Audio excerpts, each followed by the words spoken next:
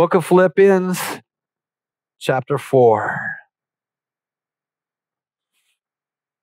Paul wrote this letter. And when we opened the book of Philippians, we knew and we read that it was written by Paul the Apostle, and he wrote to all the saints in Philippi. He didn't write to his favorite saints in Philippi. He didn't write to the leadership in Philippi. He didn't write to those who were really doing good in the Lord to Philippi. He didn't write to those who were struggling in their walk with Christ in Philippi. He didn't write to those who had uh, walked away from the Lord for a period of time. He wrote to all. This was a, a letter that he wrote to every believer in Philippi. He didn't consider or take into thought, you know, what condition are you in or, or, or how is your walk or what is your position. He just wrote to everybody because we're, wherever we stand in Christ, we're in Christ. And that's what he recognized. He didn't make anybody special. He didn't condemn anybody for not being who he thinks they should be. He wrote to all the saints, all the Christians in Philippi.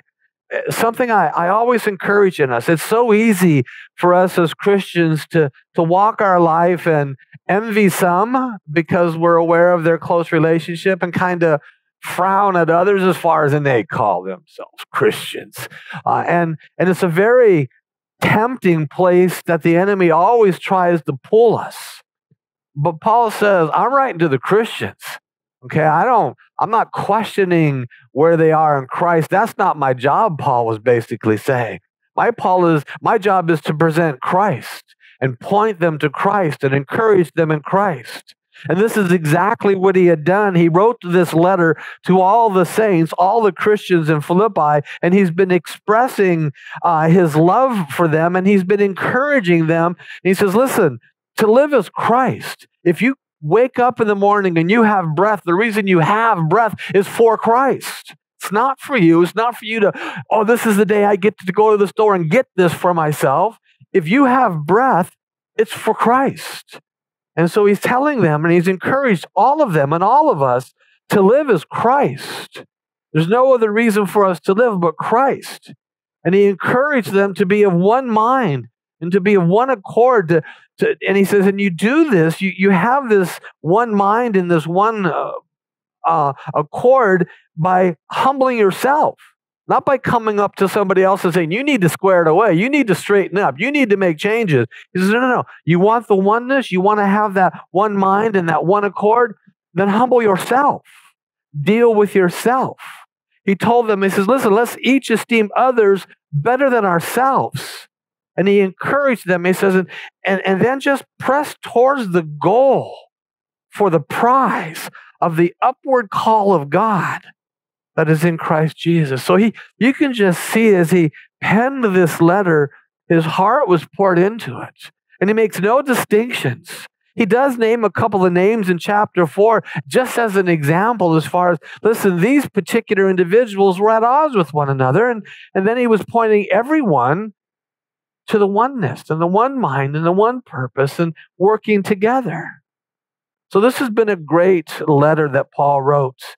And he wrote again that we would be encouraged in Christ. He had a he had a tremendous love. This is one of the most personal letters that Paul wrote, and he wrote the majority of the New Testament of the epistles.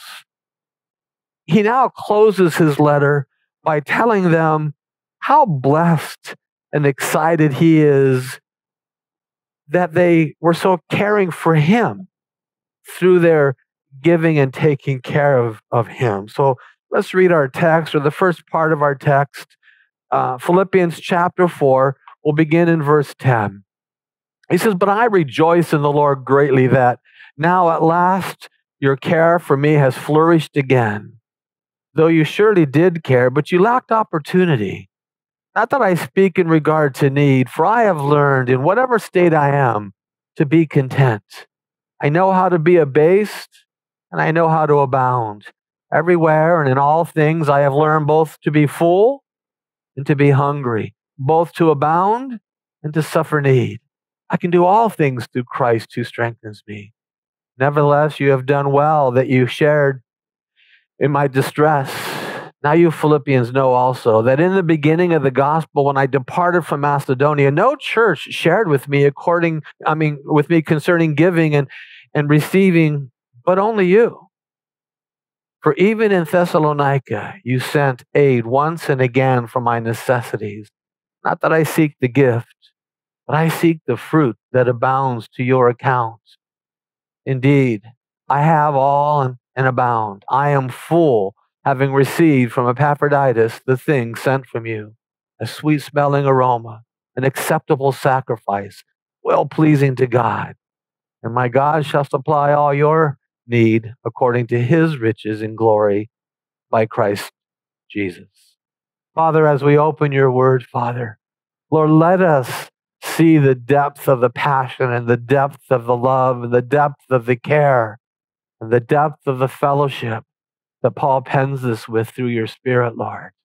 Father, may we as a as a body of believers see the importance and the need and the joy and the grace of togetherness and encouraging one another.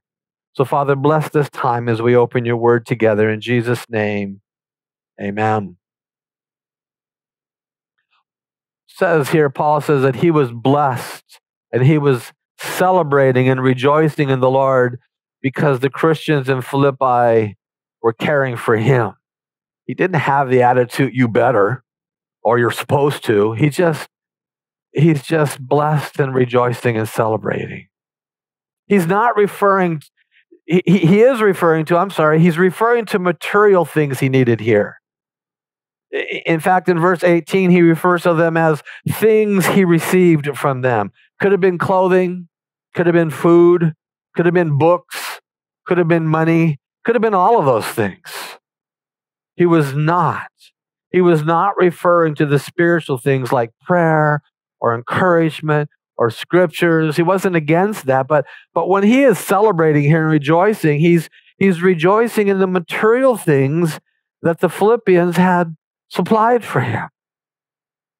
The Philippians had always had always cared for Paul.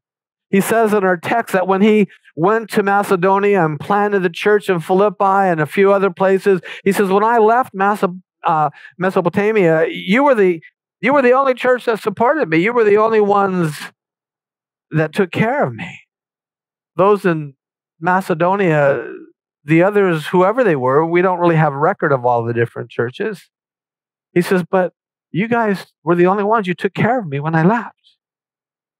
In fact, uh, Paul was boasting to the Corinthian church when he wrote to the Corinthians about the churches of Macedonia, which would have been Philippi. Macedonia is a region, uh, Philippi is a city. It's like we are in West Covina, a part of the, the San Gabriel Valley. Same type of an idea here. As far as Macedonia was a region, and uh, Philippi was a part of that region or a city in that region. But he was boasting to the Corinthians about, about what the Philippians had, had done for him. He, he writes to them in 2 Corinthians chapter 8, beginning in verse 1. He says, Moreover, brethren, we make known to you the grace of God bestowed on the churches of Macedonia that in a great tri- uh, trial of affliction, the abundance of their joy and their deep poverty abounded in the riches of their liberality. For I bear witness that according to their ability, yes, and beyond their ability, they were freely willing, imploring us with much urgency that we would receive the gift and the fellowship of the ministering to the saints. And not only as we had hoped, but they first gave themselves to the Lord and then to us by the will of God.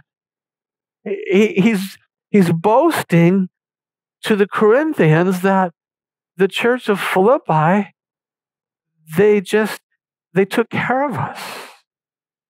And, and as we read there in, in 2 Corinthians, they, they were not a rich church. They were described as being in deep poverty, yet they gave beyond their ability.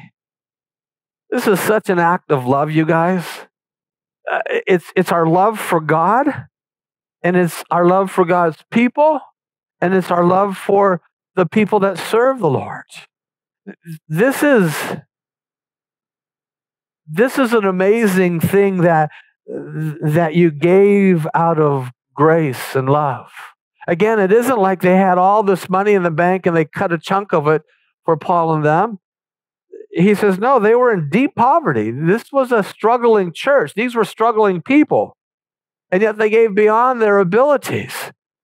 Have you ever found yourself in that place to where, you know, the Lord lays something on your heart and it's like, well, we don't really have the money for that. We really can't pull that off. And and and, and that's where they found themselves, but they said, but the Lord laid it on our hearts. And, and in their love for God and their faith and their trust in God and in their love for God's people and the servants of the Lord, they gave whatever it was, whether it was food, whether it was clothing, whether it was money, whatever it was. This is why it is important for us to do what the Lord lays on our hearts. It shows our love for the Lord and for his people.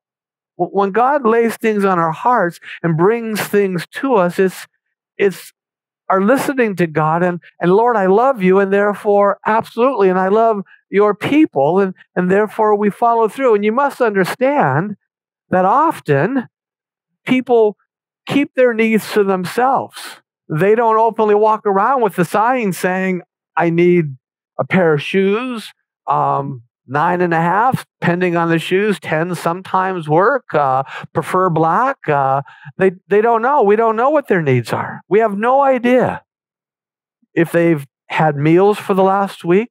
We have no idea if they even have a jacket as the cold weather uh, uh, comes towards us. Because their position is, Lord, I'm coming to you. And I'm asking you, Lord, to help me, to feed me, to guide me, to provide for me, to open doors for me, to close doors for me. They're coming to God.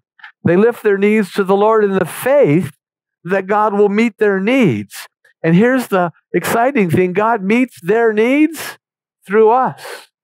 And so when God lays something on our hearts, it should never be taken lightly. Like, oh, yeah, yeah, yeah, yeah.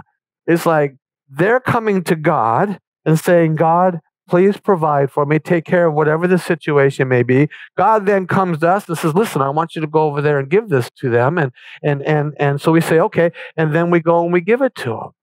It's so important. God was sharing with these Philippians, the Christians in Philippi, Paul needs help. It wasn't Paul penning letter after letter. Uh, hello, my stuff, my needs. He, he went to God.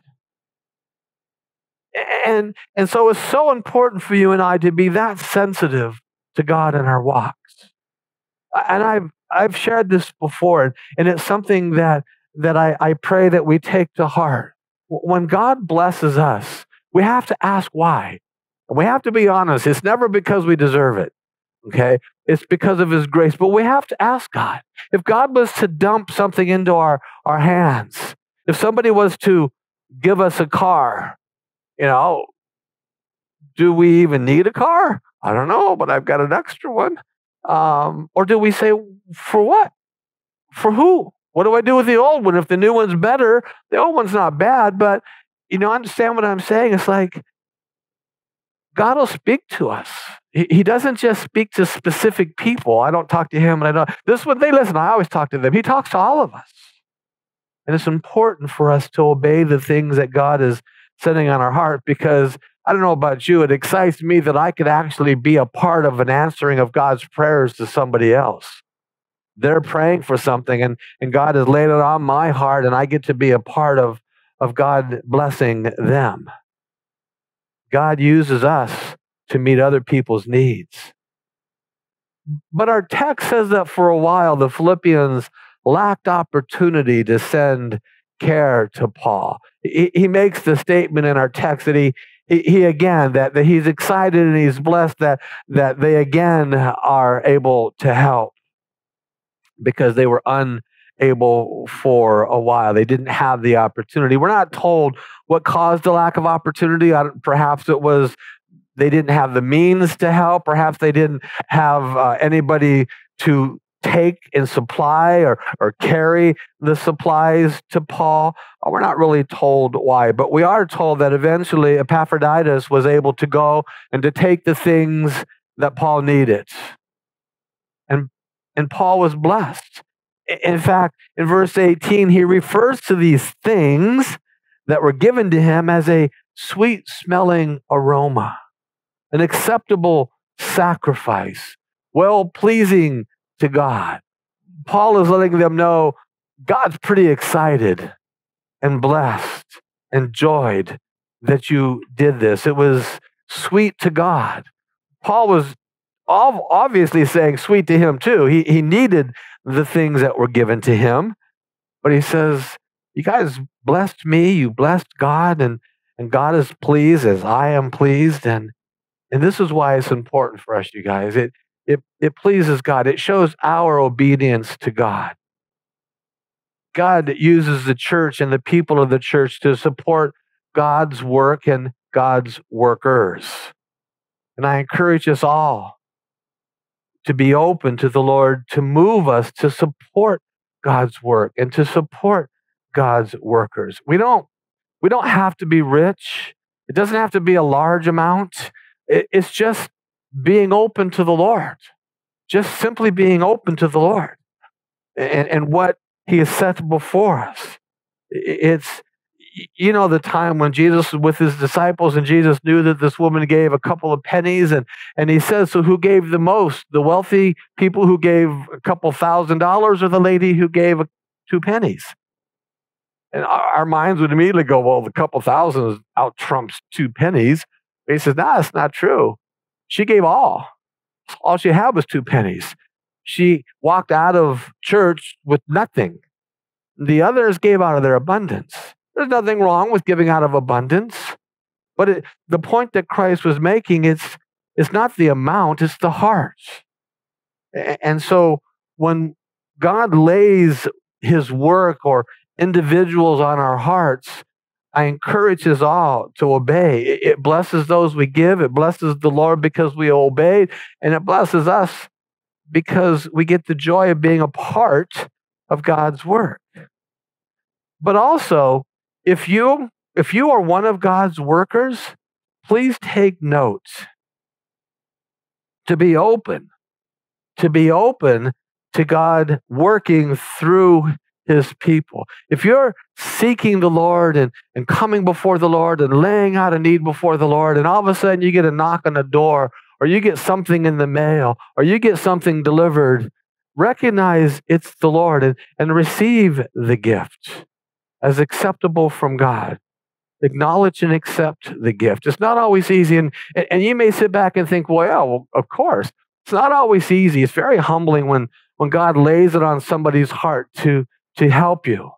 And it's like, you know, your, your pride steps in. It's like, no, I don't need it. I don't need it, man. And, and, and Paul was their teacher. Paul was their leader. And he acknowledged and accepted their gift. He didn't tell them, uh, I'm praying for God to meet my needs. I didn't ask for your help. I didn't want you to be involved. Paul acknowledged and recognized this is God working through them.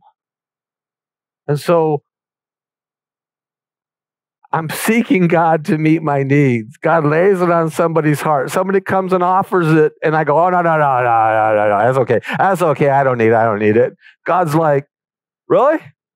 You, have been asking me for two weeks for that, and, and I finally lay it on someone's heart, and they are finally obedient, and they give it to you. No, no, no, no, no. Because it didn't fall from heaven? Uh, why would we do that?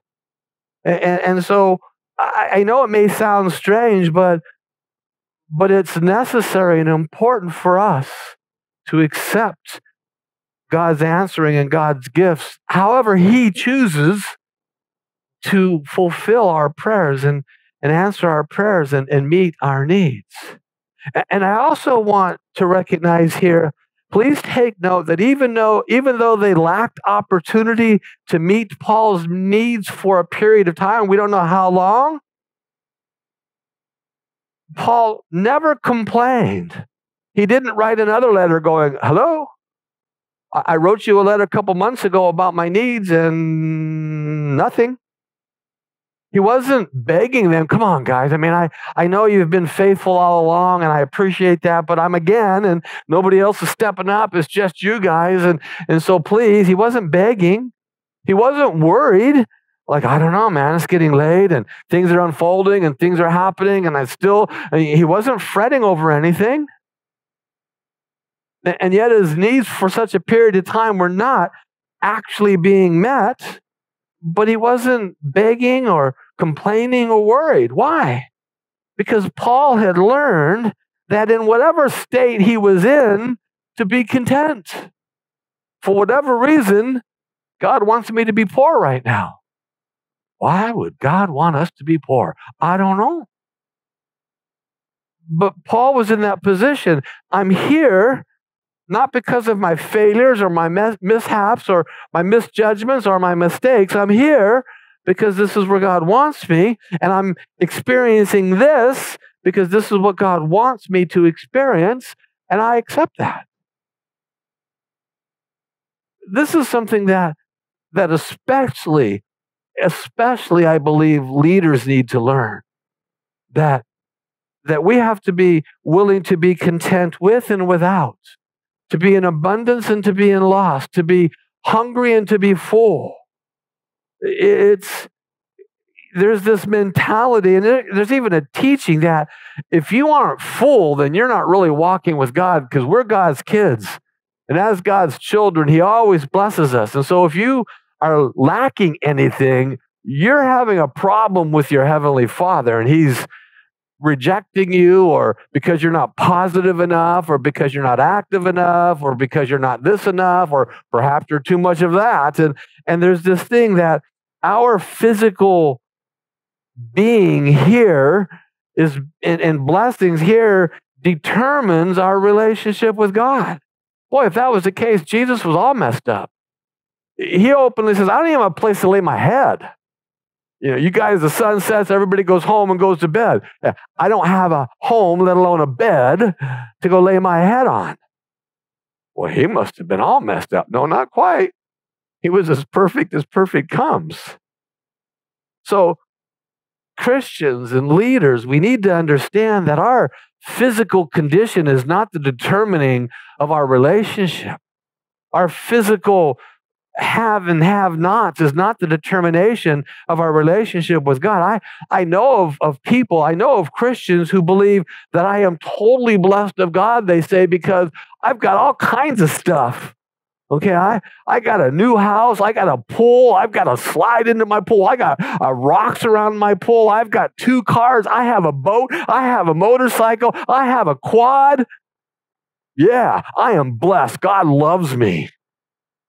And yet, to listen to them talk and the foul language and the attitude and, and the meanness is like, wow. But the convincing factor is stuff. And then it's reversed the other way. We see somebody in, in poverty and struggling. It's like, man, if they'd only repent of whatever it is that put them there. Because this ain't right. God is just not showering them, and there's got to be a reason why. And, and Paul states this for all of us to understand it's not based on our stuff, that we have or we don't have. It's based on our belief in God. And whatever He chooses to do with us, Paul said, I'm good with that. I don't believe contentment comes naturally to any of us Christians. It doesn't matter how much we have, we generally want more, right? I mean, if he's blessed us with this, is oh, thank you, thank you, thank you. Then we kind of go, but you know what? I mean, I'm not complaining. That's nicer. Okay, I, I would like that. We always get mad at our, our kids or, or, grandkids as Christmas rolls around. What do you want for Christmas? They tell us, we go out, we save, we buy it, we give it to them, and a month later, they're done. And it's like, no, you got to play with that for a whole year.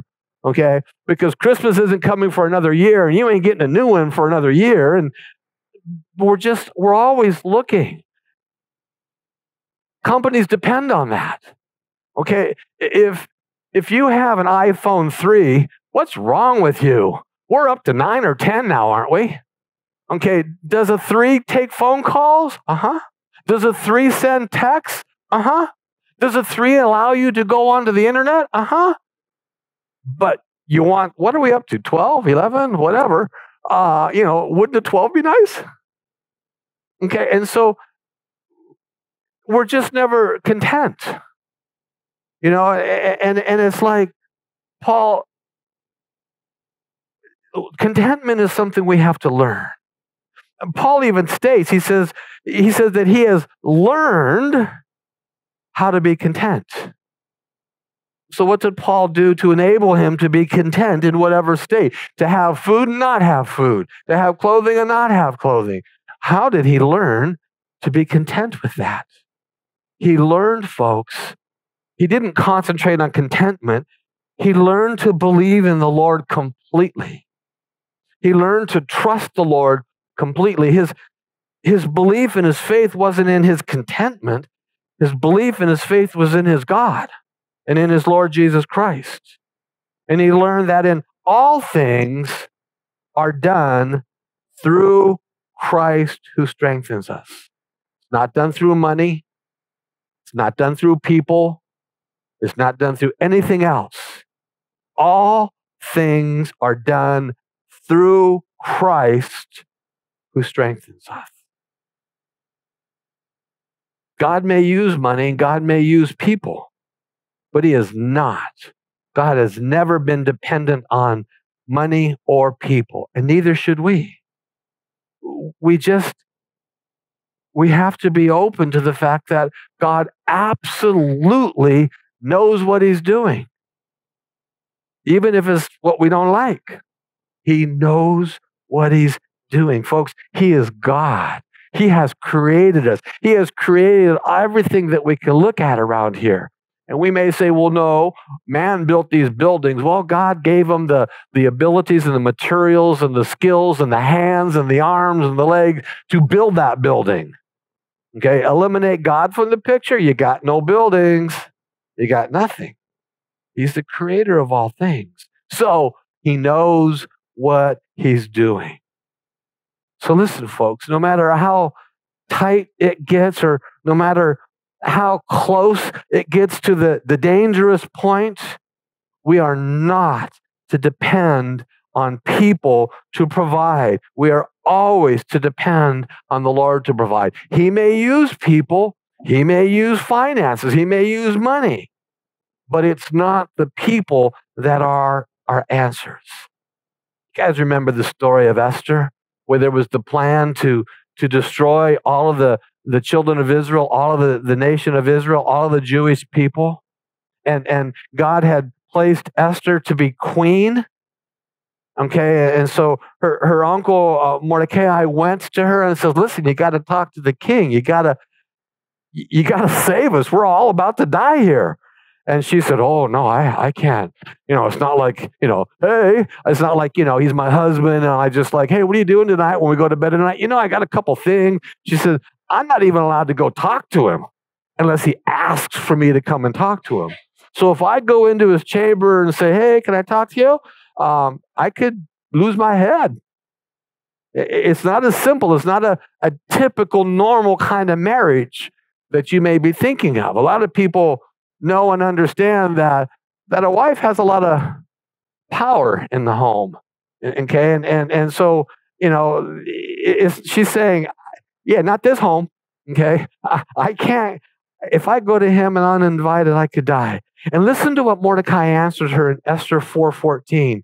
He says, "If you remain completely silent at this time, relief and deliverance will arise for the Jews from another place." He's basically telling her, it's not like he needs you. He, he's going to use you, but it's not like God's going, what if Esther says no?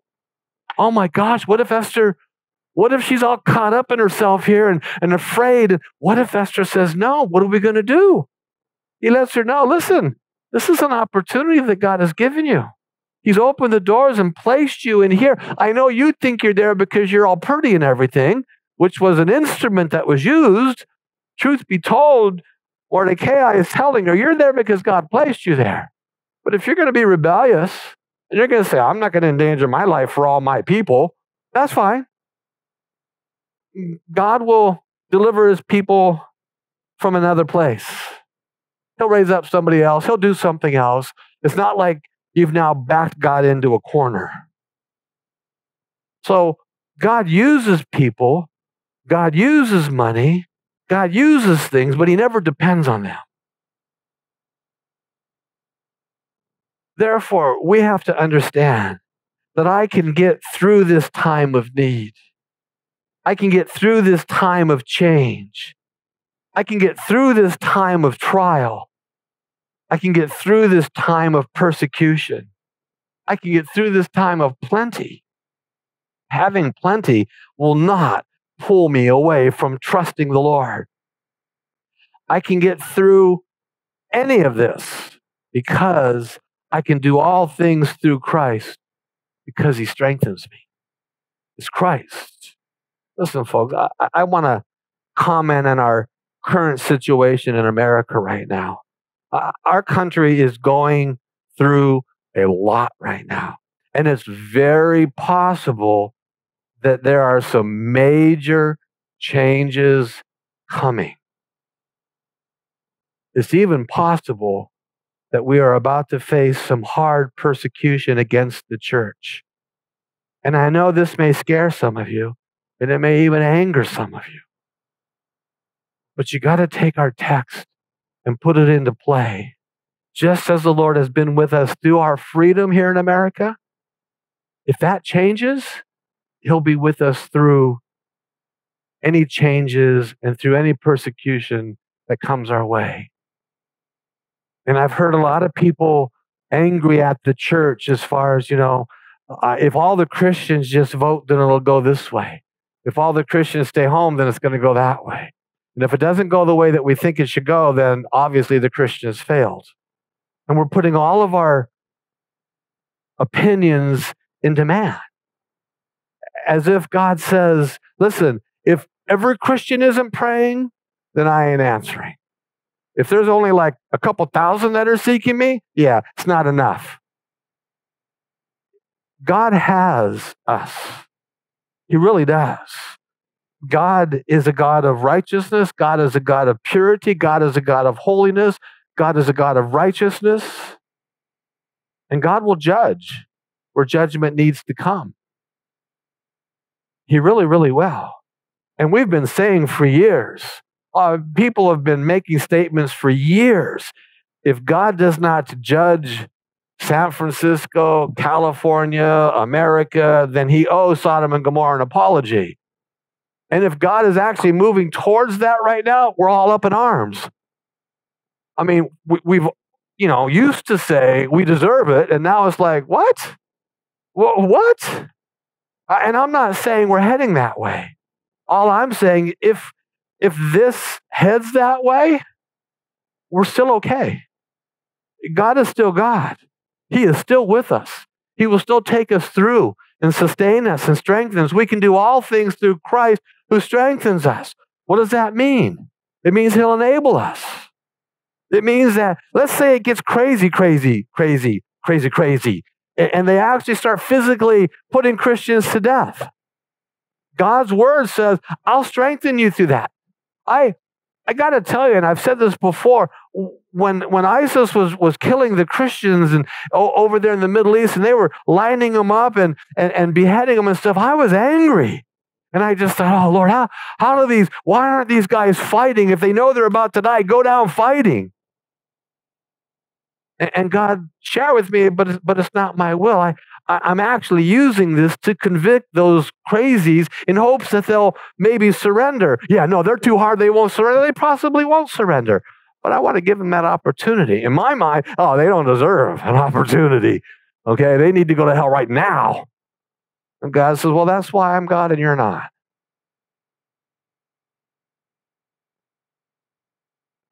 But I, I question how, how do they do that? What would I do? What would I do if, if they lined me up with some other Christians and, and they were about to behead us? And here's what I know. And here's what I stand on. Do I want to face that? No, I don't. But if I do, here's what I know. I can do all things through Christ who strengthens me. God will give me the strength right then and there to either say something if I'm supposed to or close my mouth if I'm supposed to. And that would have to be God to close my mouth. But that's my faith in God. And, and I, I don't need that right now, you guys, because no one's threatening me. So it's almost in my mind like a waste of faith if God gives me that faith now because I don't really need it right now. But I do know this if I were to ever face that, I, I can do all things through Christ who strengthens me. That was Paul's comment. He wasn't saying, Well, now that you've relieved me and given me help, now I can see. He said, I've been hungry, I've been full, I've had stuff, I've been without stuff. It doesn't matter because I know that God is always going before me. And I know that God will enable me to, to not eat for 30 days if necessary, or to, to glutton myself for 30 days in preparation for the next day, whatever. God can do all things. And therefore, I trust Him that through Him I can do all things. And so, Paul is thankful and celebrating and rejoicing in what they've given him and how they've supplied for him. But he says, you know, it, it's I, I, I wasn't whining and I wasn't complaining and I wasn't griping and I wasn't begging. I just trusted God. He's pretty excited that they supplied his needs. He accepted it and enjoyed it, whatever it was. But he's not just excited because they cared for him and supported him. Verse 17 says he was excited for their sakes, for the Philippians' sake. He was excited because they were being led by the Lord and they were obedient to the Lord, meaning their caring and giving was a part of their relationship with the Lord. This is what excited Paul. Is like, I knew you guys loved the Lord. I knew you you had your, your faith in God. And, and the mere fact that you don't have it, yet you gave it, is the evidence that you totally trust God their caring and giving was producing fruit in their life, in their relationship with God. As Paul had boasted to the Corinthians, as we read in, in chapter 8 of Second Corinthians, he goes on in, in 2 Corinthians 8 7, he says, But as you excel in everything, now he's speaking to the, he's giving the example as far as the, the Philippians there took care of me, even though they didn't have a lot of money. Corinth was a rich church. And he says, and, and, and they were faithful in, and, and meeting my needs and giving the gifts and whatever it was. After he says that, he says, But as you excel in everything in faith, Corinthians had a lot of faith. In speech, they were very bold. In knowledge, in all earnestness, and, and in your love for us, see that you excel in this act of grace also. The giving, the caring, the coming alongside. He's referring to the caring and the giving. You know, that's why he brought up the Philippians. He's telling the Corinthians, you guys have been blessed with all this stuff. God bless you. But also excel in the caring for others and the giving for others. Caring and giving is a part of our Christian living. And we need to learn to follow the Lord and trust the Lord in our caring and giving for one another referring to our giving, the Lord tells us in Malachi 3:10. He says, "And try me now in this about giving," says the Lord of hosts, "if I will not open for you the windows of heaven and pour out for you such blessing that there will not be room enough to receive it." He's not again just talking about material stuff here. He's talking about the blessings and the joy of the fulfillment of serving God. Have you ever helped somebody and you walk away going, well, thank you, Lord. That was that was a blessing. I enjoyed doing that. That's God filling us beyond capacity. God is pleased when we care for his children and give to his children. He'll bless us. He'll take care of us. Caring and giving is an act of obedience. When God lays something on our heart, it's an act of obedience, and it's not always easy. I, I love this story of Elijah and the widow in 1 Kings chapter 17. Uh, just let me read it to you rather than trying to tell you, because it's a beautiful story. Elijah has is on the run, if you will, from, from the queen, and and we read in, in 1 Kings chapter 17, beginning in verse 8. He says, Then the word of the Lord came to him, saying, Arise, go to uh, Zarephath, which belongs to Sidon, and dwell there. See, I have commanded a widow there to provide for you. So he arose and went to Zarephath. And when he came to the gate of the city, indeed a widow was there gathering sticks. And he called to her and said, Please bring me a little water in a cup that I may drink. And as she was going to get it, he called to her and said, Please bring me a morsel of bread in your hand. Now, let me stop for a second. Think about this. God spoke to Elijah and says, Go to this city, and there's going to be a widow there, and I'm going to take care of your needs through hers. So he goes to the city. Sure enough, he meets this widow at the gate and says, Hey, could you have a glass of water? Yeah, let me go get it for you. Hey, bring me something to eat on the way. Figuring what? She's got plenty. Why? Because God said she's going to meet my needs, and so we're good, right? Just she's going to go, oh, yeah, yeah, I'll bring out a plate in just a second. That's not the story. Look at verse 12. So she said, As the Lord your God lives, I do not have bread only a handful of flour in a bin and a little oil in a jar. And see, I am gathering a couple of sticks that I may go in and prepare it for myself and my son, that we may eat it and die. Can you imagine Elijah's thoughts? Wait, wait, wait, wait, wait. You must be the wrong widow. Okay? I mean, God said a widow was going to take care of me, and so you're going to get me a glass of water. God bless you. But how about some food? You're saying, no, we've just got a little bit of flour and oil. I'm going to make a little cake for my son and I, and we're going to eat it and then die. That's all we got. We, when we're done with that, we're done. But Elijah knows that God is faithful, so he goes on, verse 8, uh, 13, and Elijah said to her, Do not fear. Go and do as you have said, but make me a small cake from it first and bring it to me, and afterwards make some for yourself and for your son. For thus says the Lord God of Israel the bin of flour shall not be used up, nor shall the jar of oil run dry until the day the Lord sends rain on the earth. Pretty bold, huh? Oh, yeah, no, no, no. Make mine first. I got enough to make two little cakes, one for me and one for my son. We're going to eat them and die. Oh, no, no, no. Make mine first, and then whatever's left over, split between you and your son. What a great godly man. Can you, can you imagine being the widow going, wow, now there's a caring guy, all right? um, but he tells her, he, he's, he's not doubting, he's not questioning, he just says, don't worry. God, said he'll take care of you and me and your son. Would you do it? Would you be faithful? I mean, you know, I want to think that I'd be thinking, well, so I die a couple days earlier because I don't have enough to eat. I, I would have eaten this much. Now I only get to eat half of what I was going to eat. So rather than living for a week, I'll probably die in five days. Either way, I'm going to die. I don't know. That's what I like to think I do. But I also know me, and I'd probably tell this guy off. Really? Really? Me and my son should die that you may live?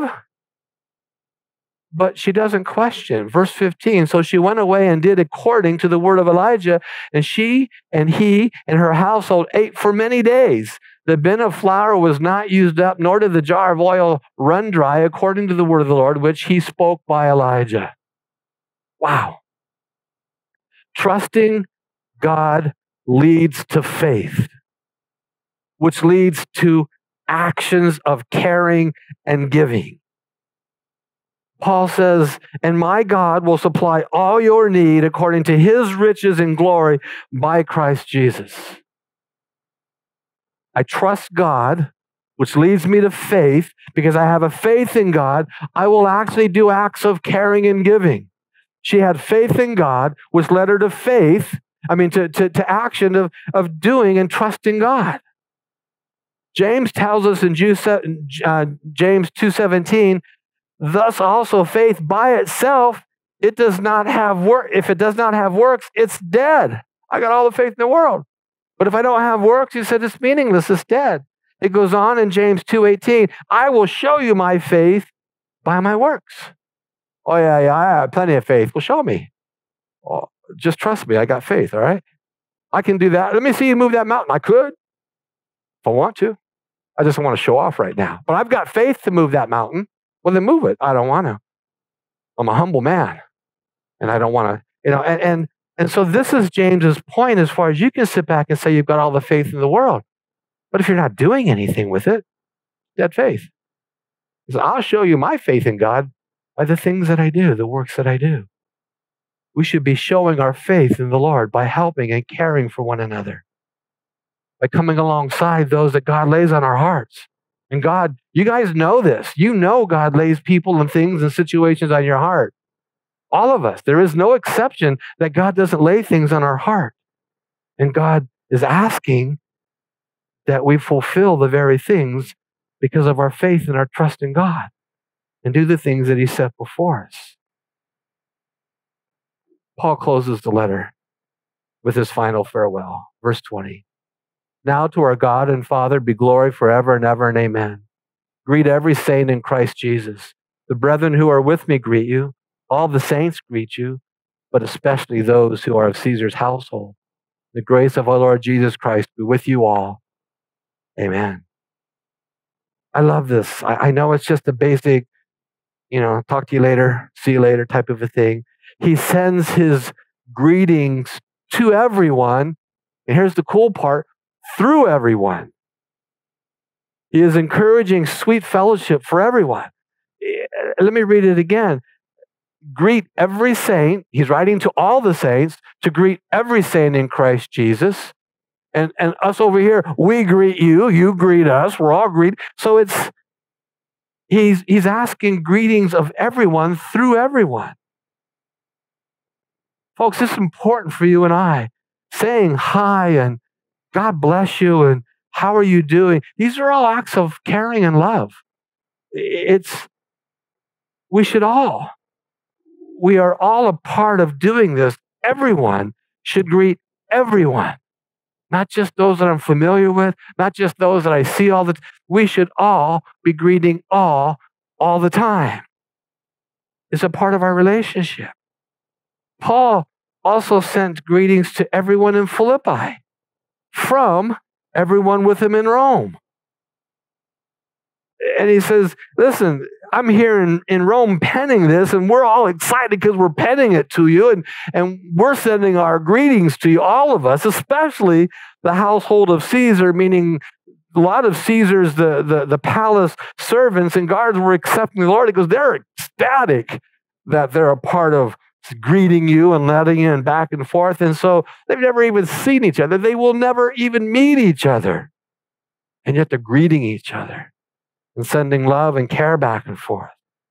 Paul sent so many letters to the churches because he understood how important and helpful and encouraging fellowship is. He, he penned so many letters because he understood it's important to hear from one another. It's important to encourage one another. It's important to pray for one another. It's important to ask about one another and, and talk to one another. This is so important for us to stay in touch with each other, especially now with this COVID thing going around.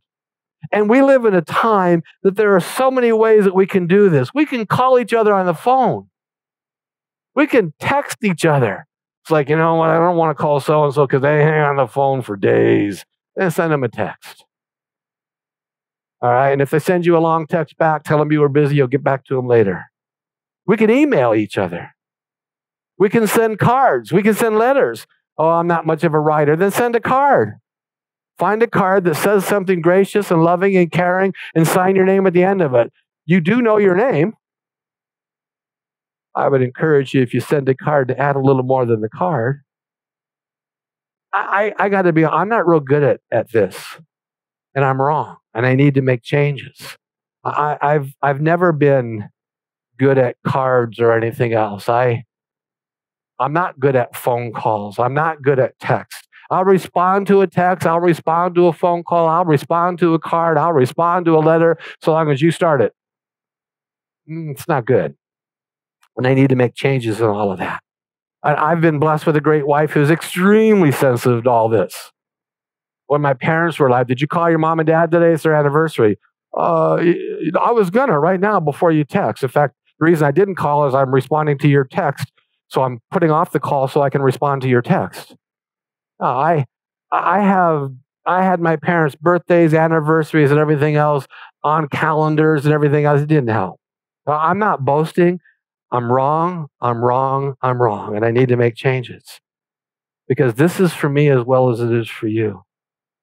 So as we close this very personal and caring and encouraging letter from Paul to the Christians, to all of the Christians in Philippi, let's be doers of the word. Let's begin greeting one another and staying in touch with one another and praying for one another and encouraging one another. That was his point. That was his point. He didn't really rebuke anybody, did he? It was just, we're brothers and sisters in Christ. And so he's encouraging us to take advantage of the relationship that we have. And we need to do that with one another, especially during these times. Amen. Father, thank you for bringing us together today and allowing us to open your word. Your word always has answers for us. Lord, the world and the things around us can tempt us and scare us. Uh, it can challenge us. It can deceive us. But your word, your word is always solid and truthful and to the point and exact. And so, Father, I pray that all of us will be doers of the word. You've blessed us with a great church. You've blessed us with a great body of believers. You've blessed us, Father, in bringing us together. And there are some who are scared, and there are some who are in need, and there are some who are worried. And so, Lord, may we, as a body of believers, reach out to one another. You've given us so many ways and opportunities of doing this. May we now be the faithful ones and follow your lead and the things that you lay upon our hearts. We're thankful for the book of Philippians, Father. We pray, Lord, that it'll become a part of our everyday life, that we will live in Christ, knowing that we can do all things through Christ because he strengthens us. So let us not fear. Let us not boast. Let us not run except for to you. And so, Father, bless now as we worship and adore you, Father. We lift up our offering before you. We lift up our communion, the bread and the cup before you, Father, as we prepare to remember that this life, this grace, this love was shared with us through Jesus as he gave himself for us. So bless this time as we worship you now. In Jesus' name, amen. Let's worship.